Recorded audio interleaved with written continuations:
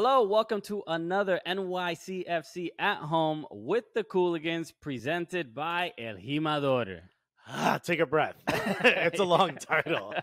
we No, back, baby. We are back with another program. We have a great show today. Uh, we have an incredible guest, midfielder for NYCFC. You may have heard of Okay. him. Okay, you can't miss him because he's quite tall. Uh, Keaton Parks is joining He's the reason that the photographer has to move the camera back a little bit during the team photo. Home is kind of tall. Exactly. You know what I okay. mean? You know, you got to get. Uh, that's why the photographer has a little stool to step on. To get, you know, you're like, yo, is that team starting two goalkeepers?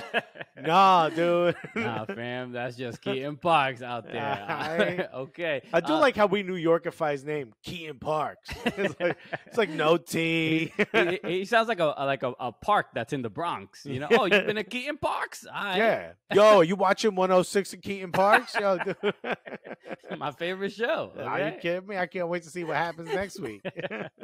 so no, we're excited to to be here. Yes, we, uh, we are the Cooligans. My name is Christian Polanco. I'm Alexis Guerreros. All right, and we uh we have a we have a lot to discuss, a lot to look forward to, especially the the last couple weeks. NYCFC has has been quite impressive, right? They've been a little, you know, the the MLS is back tournament didn't end exactly the way we liked, right? But now the regular season is here, and we're we're cruising, we're we're, Right. we're gliding up the the Eastern Conference standings. Let's look at it in, in space, right? The first two matches of the season before COVID, not great, right?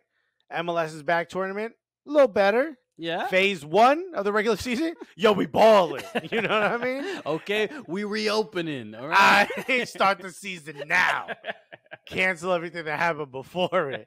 So, hey, look, at the end of the day, as long as you're continuing to get better, does it matter, right? And it feels like NYCFC, from where we started to where we are now, it seems like teams are coming into games against NYCFC as being like, yo, they're a hard team to beat. Seems like we're back. You know what I mean? Back does- to that. it, it does feel that way. You know, last uh, year when we went on that, that that long stretch, even you know finishing at the top of the the Eastern Conference, that's what it's starting to feel like. There's a bit of the you know this swag. The Yeah. swag has returned. Right? We got our groove back, yo. Like we're just slinking up our way up the Eastern Conference. Like, you know, is this how you climb a rope? I don't know. I've never had to. You know what I mean? Whoa! I Don't ask your boy. That's the most exercise Alexis has had in years. I'm exhausted. Uh, I need to. I need to uh, spray some deodorant on. a lot's happening in my back. Uh, yes, but yeah, we're going up. What are we in seventh place right now? This correct. At the as, at the time of this recording, seventh place. So uh, Well, there's no games between now and when this airs. So who yes. knows? Okay, you don't know what's gonna happen. It's phase three. What happened to phase two? Okay. Was I asleep this entire time? Oh no. no, man. But there's uh, we should we should take a look uh at the the the previous two matches and just to see how we've gotten here.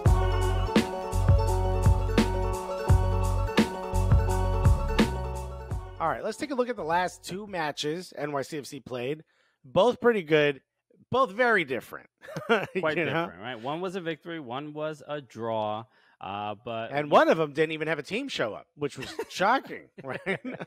so yeah, let's start with the against the New England Revolution at Gillette Stadium. Uh, a, a goal from a, Hebér from the, just obviously a, a, a corner header. I always love it when NYCFC scores headers because we're we're not really a header type of team. This- you would assume it's like Alex Ring or Maxime Chanot. yeah, we've had a couple. I, I Right. honestly, I think there's been less than like six in NYCFC's existence. I could be wrong, but it's something like and Maxi Moralez is one of them. Which right, crazy. Blows everyone's mind. Yeah. there, there's not too many. There might be just uh, uh, look. Uh, I might be one or two off, but to, to see that to see uh, NYCFC score on set pieces is a is is shows that there is a a, a newfound uh, and clear confidence this season. You know, to to be able to Right. score like that. Uh, and here's why I also love it. Hebér previously I thought he had scored, but it was listed as an own goal. The defender Yeah. got his foot on it before Hebér scored it. Yeah, So this is eh, the smile on Hebér's face was back. You know what I mean? He was dude. he was essentially responsible for two goals because it certainly was his pressure. Uh, was it Mancienne wouldn't Ma- have put his wouldn't have put his foot out if it wasn't for Hebér being there. So that that goal should count for him. And then Hebér immediately comes back with a header, like the smile. At, it, w- in the previous years, you know, the look on his face. We were in Costa Rica. Every time he scores, it's like a child scoring. You know, he's got this glee to him. You know, Yeah. and you could see that he wasn't scoring for a while. It was bearing down on him, and I we got to see the fun, having a good time out there. Hebér. That's the Yeah. Hebér we love. okay, the, this guy. I, yeah. This is the guy I love, you know. I see, see the uh, lovely smile, great dental work on that young man. You love to see Right? Just what a glow he has when he scores. So it was uh, uh, impressive, yeah, and that was, uh, you know, uh, you know, New England Revolution. Not, uh, you know, they're a tough team to play. So uh, to to be that dominant, to get a clean sheet, also huge for Sean Johnson. Uh, Right. uh, and then look, another clean sheet that probably shouldn't have simply been a clean sheet. I don't think anyone slept in either bed. Both teams got a clean sheet. the against DC United, this game ended nil nil. But really, the, when you look at the the, the stat sheet, I mean, the, the glaring difference is it, it, it's almost like only yeah, like you mentioned, only one team was playing the game. You know what I mean? Well, if you didn't, if you didn't see this, NYCFC had eighty percent of possession. that's a lot. Not like in the first five minutes out of for the whole out of- match. out of a hundred, bro. okay. I mean, if you do the math, that means there's like twenty percent left over. But, you know, you I'll let you nerds figure all that out. yeah. You know the 80-20 rule? I didn't know it was about NYCFC versus DC United. Yeah. Okay. What's happening over there? uh, yeah, th- th- th- to see that, to see, and then on top of that, 19 shots to zero, to zero. zero. I don't understand what the exact approach was for to, for DC Well, United. Why don't I answer that for you? Because Ben Olsen said that's how we chose to go about this game. This is a quote. I'm not making Uh-huh. this up. Yeah, yeah.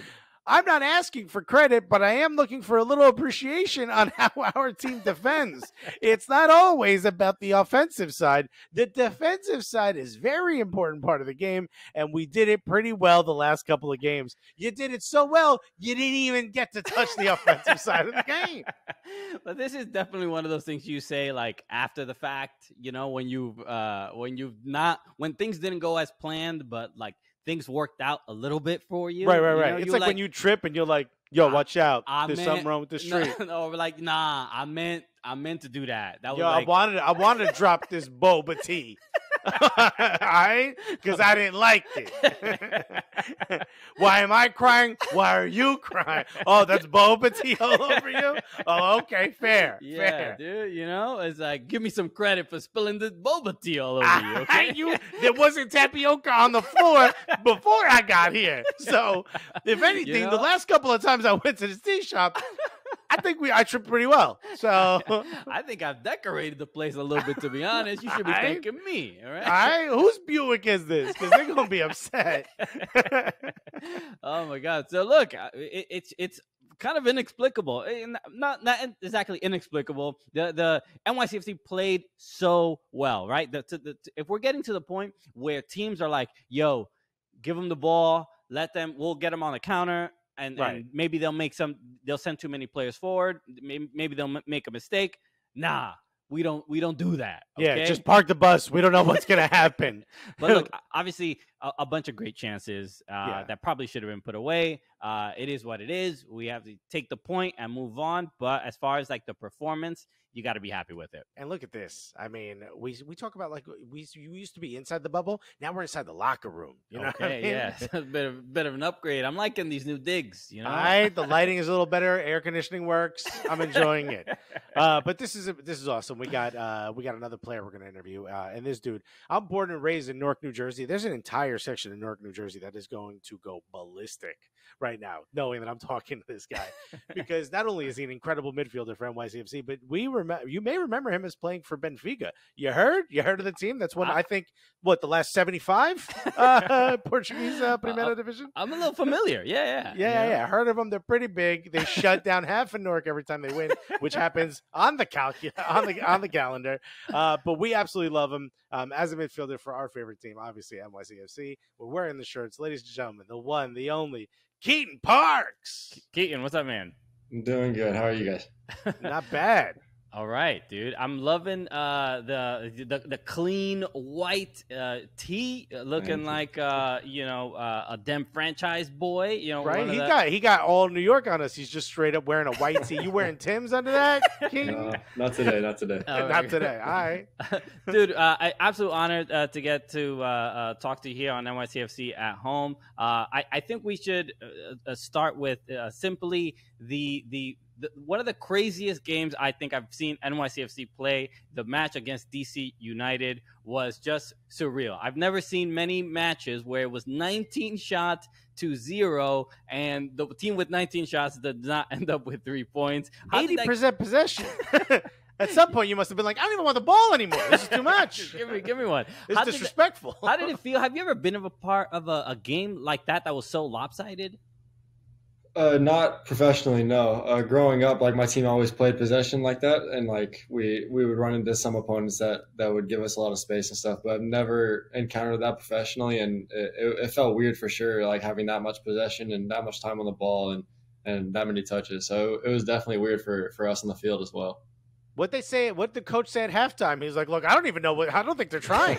you know, they don't seem to want to. Did they bet on you guys? What happened?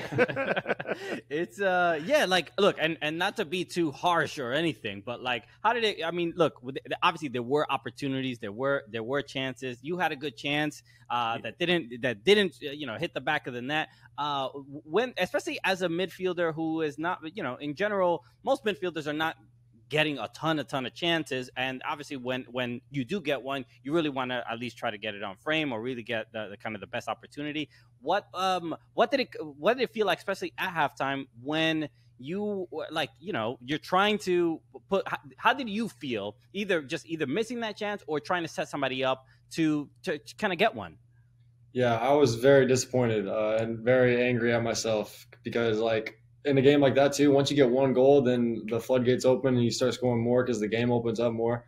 So I mean that that was a huge chance, and I should have done a lot better. And I was very I was pissed off at myself the rest of the game, like for the next day or so. So yeah, um, it, it, was it was rough. It was tough, and like we had a few guys that missed other chances as well. And I, I know everybody was very disappointed and angry at themselves. Like, um, but you know it happens. It's part of the soccer game, but yeah, like for sure, it was in my head. It was bothering me, and I, I have to do better next time.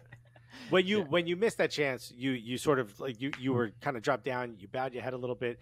When you come up from that, do you just jog back into position? Just don't make eye contact with coach. Is that what you do? You just if I don't see him, I technically can't hear him. You know what I mean? Yeah, yeah. In, in, the moments, empty stadium, right? Yeah, yeah. You know yeah. I, mean? I mean, I can hear my name being yelled, but if I just keep looking forward, tunnel vision in that moment. That's what I would do. I would just ignore it, pretend I don't know what you're talking about. Yeah, bring yeah, your just, chances, baby. I, I just ignore them and try to laugh it off and just don't look at anybody and just shake my head at myself and laugh it off and keep going. That's yeah, awesome. I mean, overall though, uh, the you know, ever since the MLS is back uh, tournament, NYCFC has looked uh, sharper than ever. I, I don't know exactly what uh, changed, especially after the the, the Red Bull loss the I, whether I, I, had heard that the, the the locker room people in the locker room were saying I think Alex Ring had, may have said this uh, that that the focus was not on the opponent on uh, and to focus on ourselves and what we can do. So what has been th- that change in mindset to have these these incredibly positive results the last few weeks? Yeah, that that was a big one. Is that we weren't we're not trying to adapt our game to the opponent anymore, or like kind of how we did uh, beforehand or like in the in the bubble. But like now we're just playing our game and we're going to let them adapt to us. And and I think that was that's a huge part of what's made us successful in the in the last games or so. Um, I've been playing more as well, so don't forget that. But yeah, dude. Yeah, no, no, hey, flex. No, no, flex all over this. Flex all over this interview. You actually have been, You put me in the game. All of a sudden, team plays better. A lot of know. things changed. I can name yeah. three off the top of my head. I'm playing. I'm playing, and I'm playing. So next thing you know, but you actually have been getting a lot more playing time, and this is your second coach with NYCFC.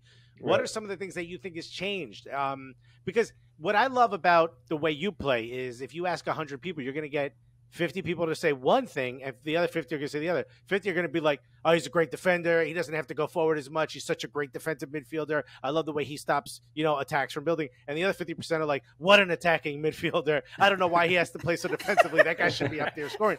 Who are you? Okay. And and two, why do you think you're getting so much more playing time now? Because it's it's exciting to see.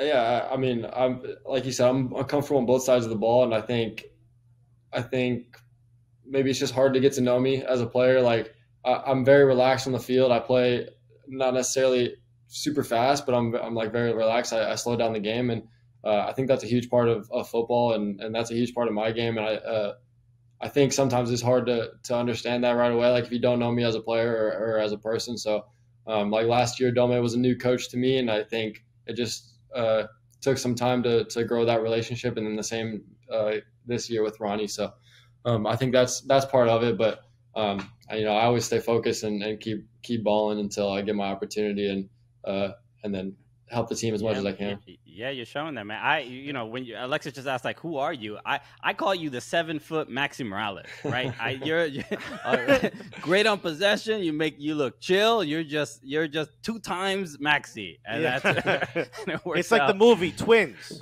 You know, it's impressive. Uh, and you know, we should also talk about, you know, you you did uh, I, I have a lot of like uh, youth national team uh, experience uh, and, and, and men's national team experience. What what are those aspirations like as far as being being an American, be, uh, an American that did play uh, overseas and, and, got a great opportunity at a at a big club? Uh, what what are those uh, what are those hopes and plans like? Yeah, I want to be on the national team as much as I can. There's been obviously a pause in, in international breaks right now, but yeah, I want to get back to the to the men's team and, and help the men's team and the U23s for the Olympics that got postponed to next year. Um, and I want to be a big part of that uh, squad. But that that all starts here at the club level and and getting performances and and doing my best here, and then hopefully it translates into that. But also like make maybe going back to Europe one day and, and playing at, a, at the top level in the world, and uh, maybe maybe that happening for me again one day. Yeah, I mean, and you're in a great club because you do have the opportunity. You got the guys from you know uh, Manchester City. Yeah, absolutely. Right yeah. Uh, let's talk a little bit about uh, your time in Portugal, in particular, how you got there. Because I remember when you first went, there was like articles talking about like you weren't a part of an academy or like I, right. I, I think it was uh, if I'm not mistaken, you're from the Dallas area or you right, were playing in the Dallas area, and it was a, a tournament in which you got uh, sort of seen how yeah. I mean, did you think it was a scam? You know what I mean? When someone's like, "Trust me, it's a Portuguese club," you're like, "Sure, sure, you are." I'm not getting in your van. You know, I don't know what uh, what exactly happened. What sort of what brought you to that moment where you were missed by Americans, but you were sort of starting to get scouted by this your massive European club? Yeah, it was. Um, so I played for a coach that used to play in Portugal, and I started playing with him when I was eight years old. And and I stuck up. I stuck with him until I was 18, until I graduated high school and went on to Portugal. Um, so he was like my connection there. He's the one that that developed me as a player and everything. So I stuck with him. I trusted him, and um, I mean, he got me pretty much here. He, he got me here today, you know. So uh, he said he was my connection from the start, um, and that's why I, I, skipped out on any academy, switching any teams because I just stuck with this coach. And then um, and then he's like the one that like brought me to Portugal for a few summers to try out with teams and get my name out there, and then eventually uh, getting that first contract with the uh, with Varzim. So uh, he, our, his name's Armando Pelaez, and he was the guy that's that that set all this up for me, and that's been the been the guy for me that that got me to where I am now. Yeah. That's incredible because I'm sure when he first called, you know, and I mean, it's changed now, but at first it's like, I've got this American. Hello, hello. You know, because back when, when when you first went, an American in a European academy was relatively rare, especially yeah. someone who didn't already have a name here. You know what I right, mean? Right. So, was it difficult for you when you first got there? It was. I was. I, so I wasn't at Benfica at first. I was at a smaller club, and uh, I, it was like you could definitely tell that people didn't look at me the same as like their their Portuguese like teammates and stuff like that. So um, I had to prove myself every day, uh, no matter what team I was at playing with, the under 19s are the first team in the, at this club. So um, it, it, was difficult like that. Even I, I know I have a story from Benfica when I went there for the first year at the B team. Um, this one guy that I ended up becoming friends with like playing the midfield with on the B team, uh, Gedson Fernandes, who's at Tottenham now. He he like thought I was like a joke, like just an American guy, like I wasn't gonna make it on this team and stuff. And then like obviously I started training, we started training together, and I started developing, and like we became good friends and good teammates and everything. But um, like later on through the season, somebody told me like, yeah, he used to like not like you at all and like thought you were horrible and all this stuff. So it was funny, like looking back on it, like after we became friends and everything, hearing that was, was pretty funny. That's like it's goal five. The, the what Yeah, you just yeah. said is the movie Goal Five. Yeah. That's great. Are, do you have you found a great pastel de nata in uh, New York? Yeah. No, no. So I haven't found it in New York. No, I haven't. I I guess I haven't really looked, but I'm. I know for sure there's some like probably in New York or in Jersey because there's a big Portuguese community, right? So Yeah, Newark. Yeah, I, mean, I do it's need to look for that. So for sure, Yeah. go check yeah, that out. Yeah, dude. Uh, no, that's uh, that's it, it's great because it's like it, it is weird. I, I guess I definitely as any player, but as an American, uh, you you have to deal with. You, it's weird. You get into a team and all of a sudden you have to deal with like bullying until you are uh, like Yeah. people trust that you're Yeah, good yeah, enough. Right? yeah. Until they're like, "Wow, he's not that American." What do you think you were gonna do? Pick up the ball and yell "hut, hut, hike"? You know what I mean? It Like- just it's like, but, but you know what? But thank you for for fighting those uh, stereotypes that Yeah, uh, you know for sure. American uh, footballers. So the um, look, there's a, a, a lot to look forward to. Obviously, uh, the next match against uh, FC Cincinnati. When when you think of defensive teams, yeah. uh, you know it's uh, it's gonna be uh, a- DC United was nice practice.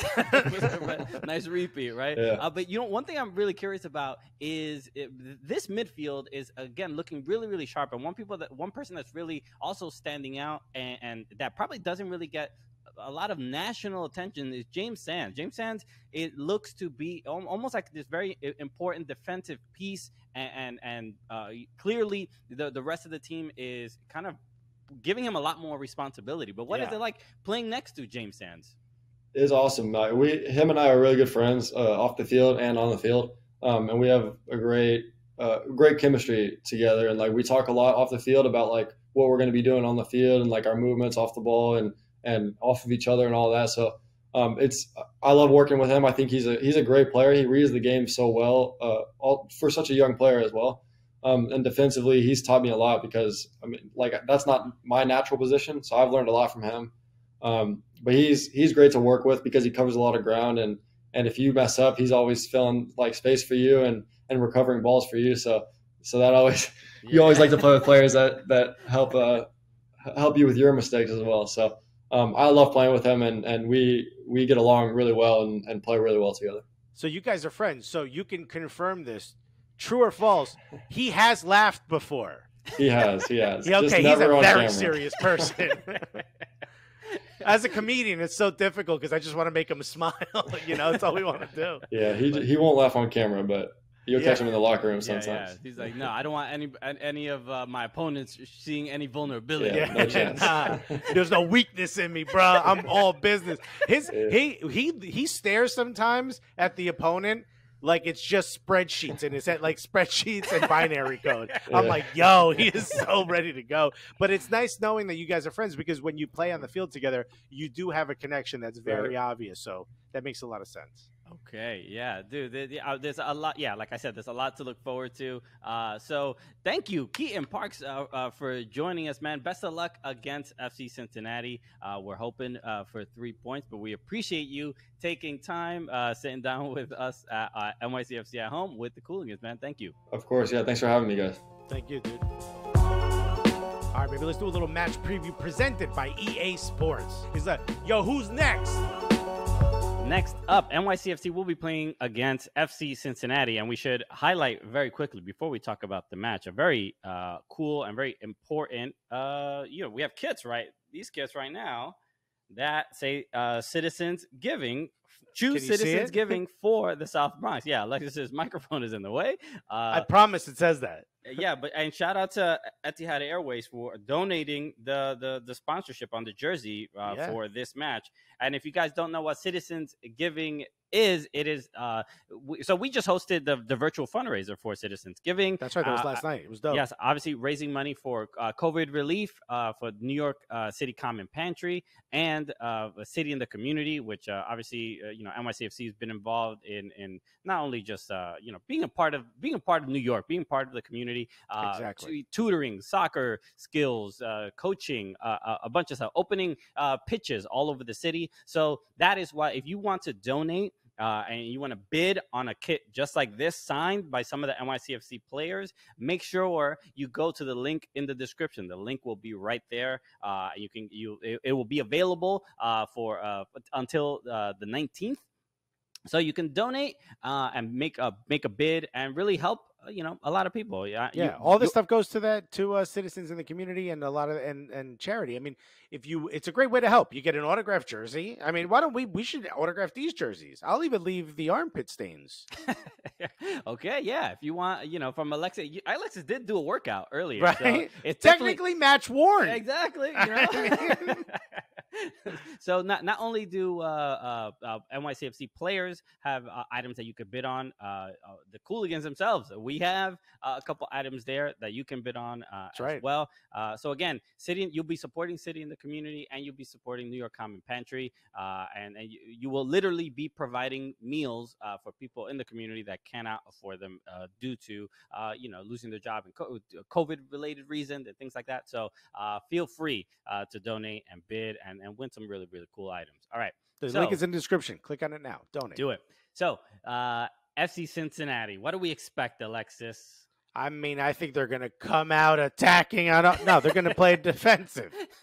they Yeah. usually do. That is uh, the strategy. You know, it, it it's yielded positive results for them uh, once in Well, a the- while. they're not they're not easy. They're not easy to play, right? Mhm. Um, but what they like to do is they like to sit back. They like to absorb a lot of pressure, and right at the moment that you start making a little mistake or one of your players is out of position because you've been bombing forward trying to score, is when they attack. And look, they got that kid Frankie Amaya, very very good, right? Mhm. They've got a lot of options. They just signed um, a player who I can't remember, but looks like he's going to be very good. So. At the end of the day, We they just, do have just have to take your word for it. right? I mean, hey, link in the description. I don't know if that's true. but at the end of the day, they certainly have options. But I think going back to what we said before, NYCFC are a much different animal right now. When Yeah. we came in, when we come in, it's you we're gonna play our style, just like Keaton said. If you need to sort of find a way to try to break us down. And at the end of the day, I don't think that's going to happen with FC Cincinnati. Dude, they just had a 3-0 loss against Columbus, who yeah, top of the uh, top of the standings in the Eastern Conference. They're uh, they're sitting in 12th place right now, and uh, their record is two five and three, which is a formation. That's never good. You know what I mean? not the and not the best one either. I'll no, no, you got you don't have enough defenders, my guy. Uh, yeah, look, I think the uh, NYCFC, I think uh, frustrated with that, you know, dropping those two points against DC United, and they're gonna take it out uh, against uh, FC Cincinnati. So I do, Yeah. I, I expect nothing less but but three points here. Uh, and and I, as far as a, a score prediction, I gotta say. Um, I think we, we have another possible three nil. I think FC Cincinnati is going to deal with uh, those, you know, uh, Double down on the three nils. du- double bagels. At Oh, ouch! I think we got too many bagels, coach. Uh, dude, we've won. We've won them. We've uh, beaten them the two games we've played them. Mhm. Overall aggregate score line is nine three against them. So it stands to it stands to uh, to be. I guess for me, if you want to average that out, I think it's going to be three one. I think we're going to win three one. That's the the average of the aggregate score. I could also see it being a 2 0. I think 3 0 is a bit much, but I do think I could see it being 2 0 or 3 1. And I think this is where Hebér scoring touch comes right back. We're going to see Maxi do his thing. Hopefully he plays. And I think the guy who was just on our show, Keaton Parks. Keaton, he's gonna he's gonna make up. He's like, Coach, you, I'm gonna win you. I'm gonna win your faith back. Right, him and him and James Sands are going to high five because then we know they're best friends. After he scores a big one, and I think it's going to be uh, three one. I'll say three one. I'll stick with three one. Okay, hot off the presses. We actually just found this as we were taping this right now. We just got uh, a little bit of a, a little sneak peek at the schedule or possible next couple uh, upcoming matches for NYCFC. So we know uh, the next, at least the next opponents are going to be uh, New England Revolution, Right, and that's an away match. correct? And then we're back at home for Toronto and Cincinnati coming back again. Look at that. Okay, so uh, you know we're gonna be we quite familiar Uh, right. With at least, uh, you know, the these teams we have already played uh, this season, uh, Revs and upcoming match against Cincinnati. So Toronto comes back from their little stay in in Canada, their little bubble in Canada, Mm-hmm. right? Just smelling like maple syrup. You know what I mean? Yep, Speaking yep, a little yep. French. You know? yes, and, Jozy telling everybody to be quiet. You Yeah, know, yeah, you know, he yeah. does. It's Uh, too loud in New York. He needs you to tone it down. so uh, look, uh, obviously, yeah, uh, it's nice to know that because we we love watching our club and and the fact that we just you know. Uh, get us the whole schedule, you know, Yeah. sort that out. I, want- I want to know where, where, uh, you know, exactly what my schedule is going to be uh, for the rest of the season. It's like your friend owes you money. You're like, "Where's my fifty dollars?" He's like, "I got twelve dollars and thirty two cents." You're like, "Why? Did you buy a sandwich on the way here?" okay, I don't need, uh, uh, you know, I- we don't need to do a payment plan for you to pay me back. don't get, don't make me get a calculator to figure out what So, you owe uh, me. Uh, so at, least we know uh, those next three, uh, three matches, so that's exciting. Uh, so yeah, so uh, enjoy the match against FC Cincinnati. We're uh, gonna be watching as well.